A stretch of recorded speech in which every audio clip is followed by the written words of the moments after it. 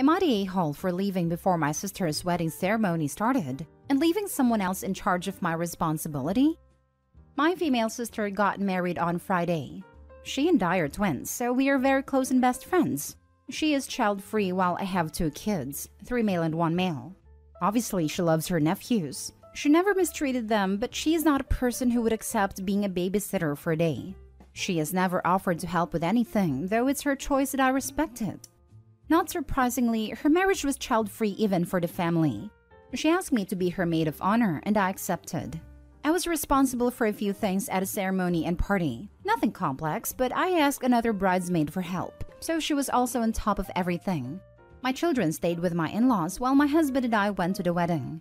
About 10 minutes before everything started, I was there for two hours. My in laws called saying that my youngest hit his head while playing with my oldest, and that they were taking him to the hospital. I despaired. Even though they said it was conscious, my heart was not at peace, nor my husband's. So we decided to go to the hospital. I talked to the bridesmaid and explained everything I had to do. She accepted, and when it was time to talk to my sister, she had a meltdown saying that I couldn't go at the most important moment in her life and asked if I was choosing him instead of her. I got really irritated and said, Yes, I choose my son in the hospital. I left with her cursing me. My son is fine, but he got two stitches without any internal trauma after they did exams. But we only left the hospital the other day because they preferred to put him under observation because he's very young.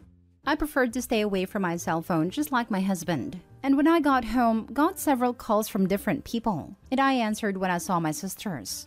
She asked before how my son was, and when she learned that it was a minor injury, she started screaming, saying that I abandoned her at the most important moment in her life that she was without a family in her own marriage, no parents and grandparents, that I left my responsibilities to a person who did everything wrong and caused an embarrassment. And to make matters worse, I didn't even want to show up since my husband could stay in the hospital while I would at least share this moment with her.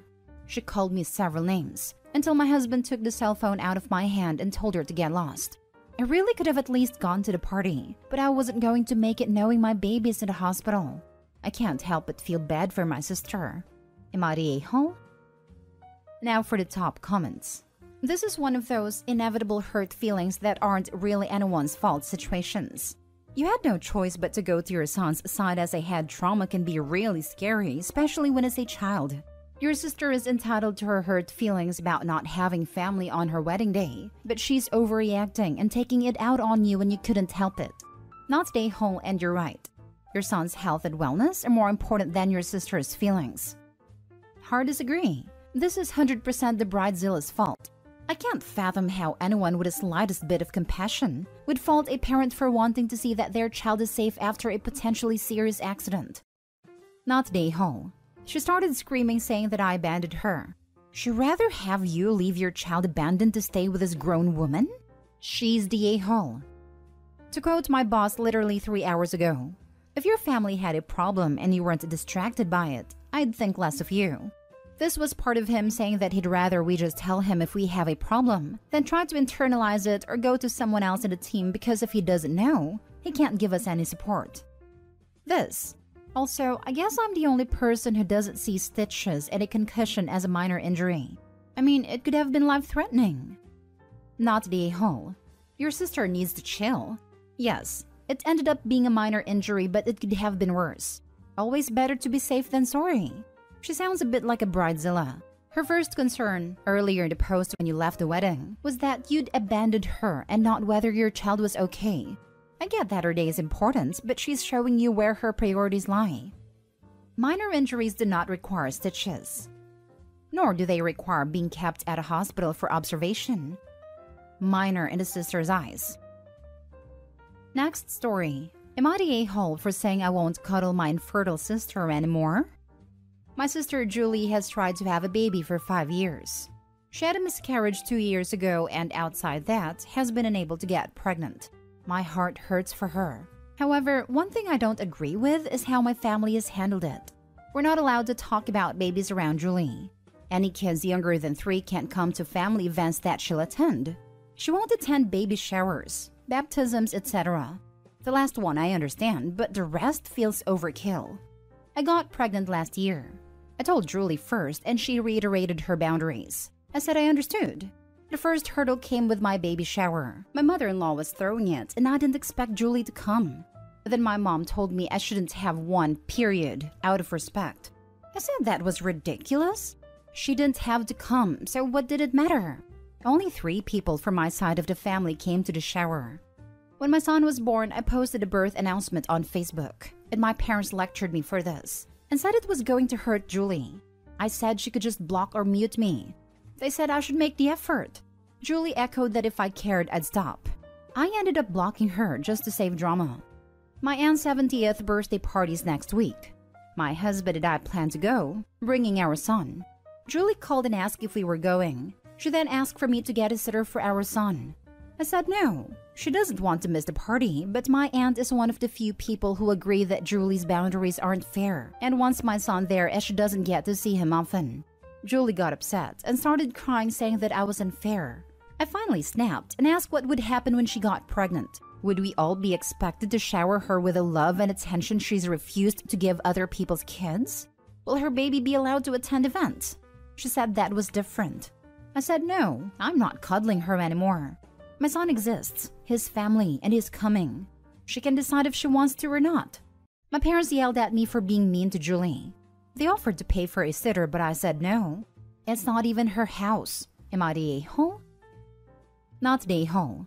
Your sister is taking this way too far. Your point about her possible child is totally valid. I doubt she's doing this with friends and coworkers. She does it with friends, but she doesn't have many to begin with. They also don't have kids, so it's easier. Unsure about work. Gee, wonder why she doesn't have many friends.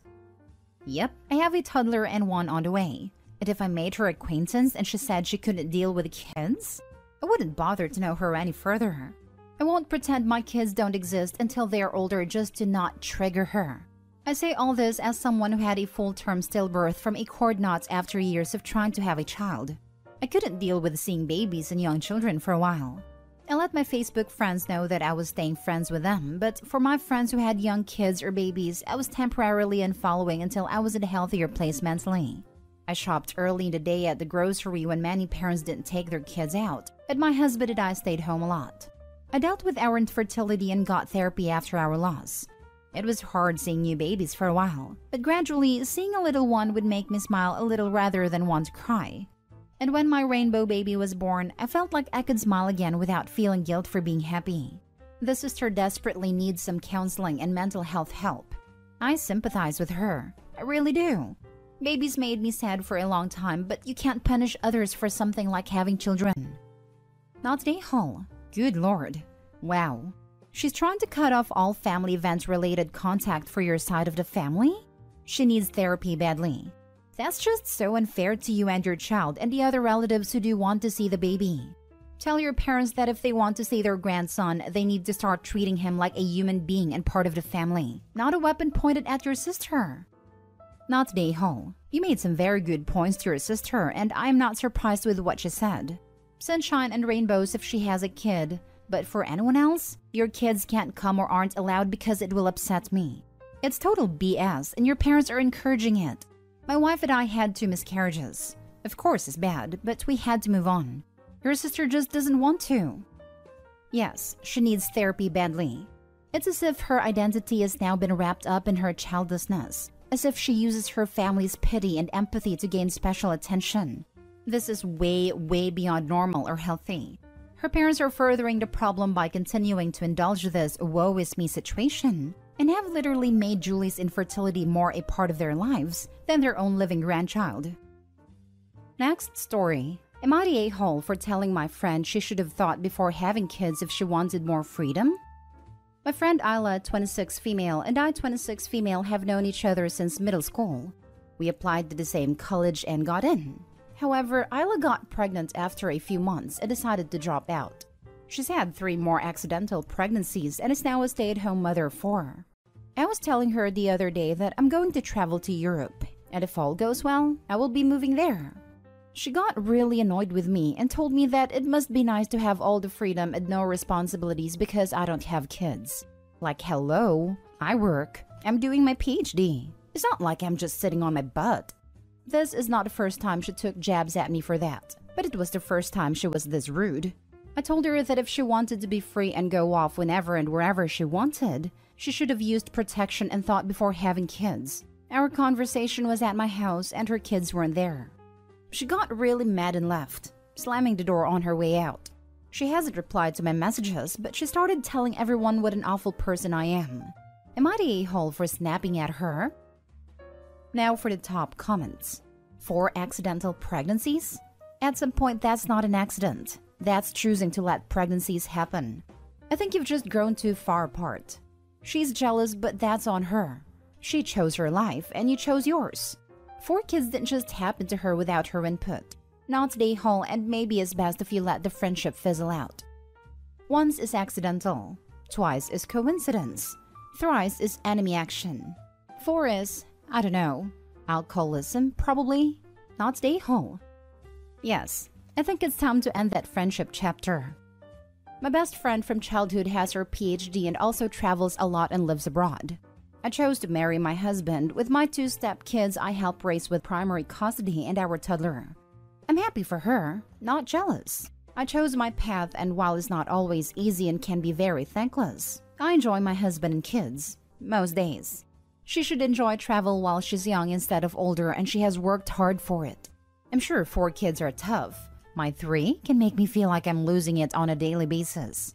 But it was a choice, accidental or not. There was the risk by having intimacy and keeping the babies, as heartless as that sounds. Maybe she didn't know how demanding and draining it could be. Heck, I didn't. But she should celebrate her friend. My friend has different struggles, and she truly has worked herself off to get her PhD, which I doubt I could do. Not stay holopy. Everyone has a breaking point, and she was being rude for too long. Not stay hall. I'm sorry, but there is no such thing as four accidental pregnancies, unless she is one of the most fertile people on the planet. One, sure, get on long term birth control, etc. afterwards, and also use rubbers. But four? I'm sorry, no.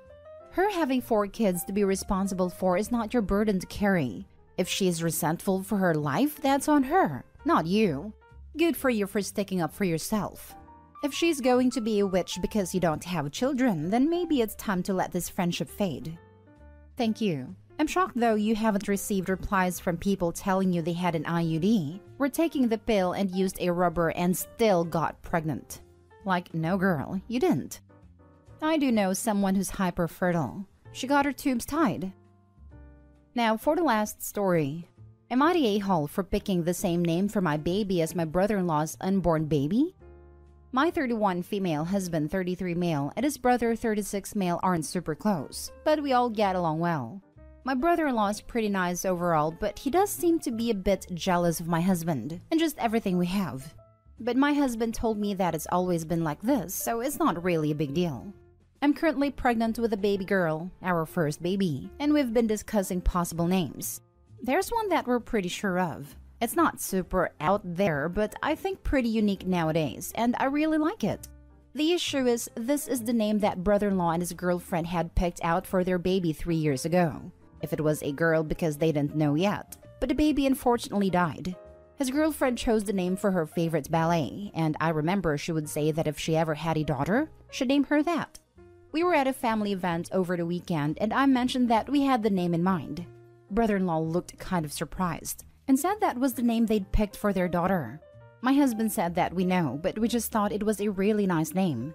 Brother in law started saying if we could reconsider and that there are other names, and this one's really special to him. I said that we decided on the name, and he actually didn't even know if his baby was going to be a girl or a boy. He was upset and kept saying that we should reconsider. I got a little mad and told him that he doesn't own the name, and they should be hoping for a healthy baby rather than worry about names.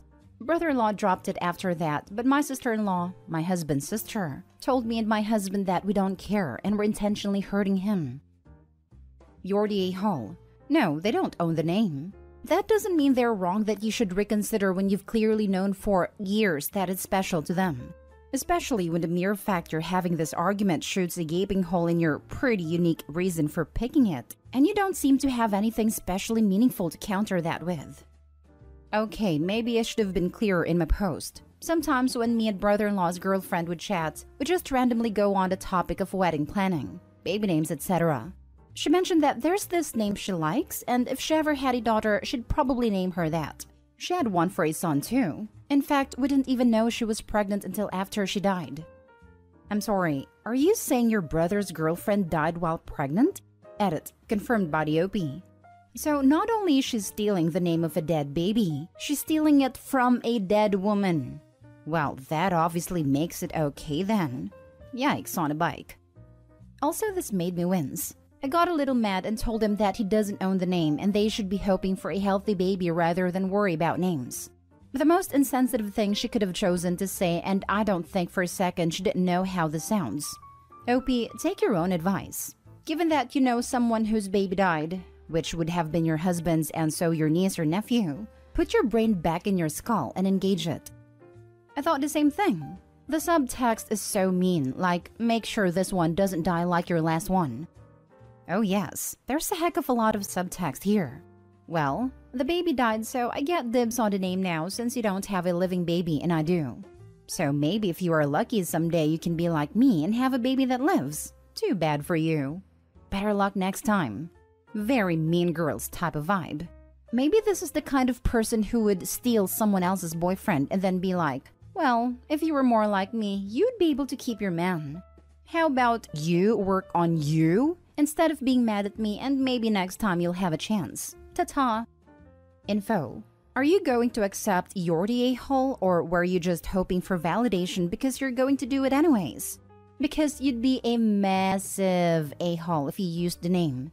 Edit. Oh dear lord. Turns out the girlfriend died with a baby too.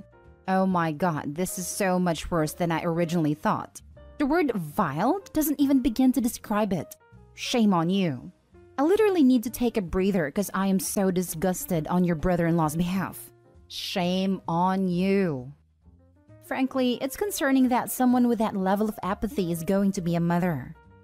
That poor child. To have a mother like this. It's worse than that. The kid has a father likes this too.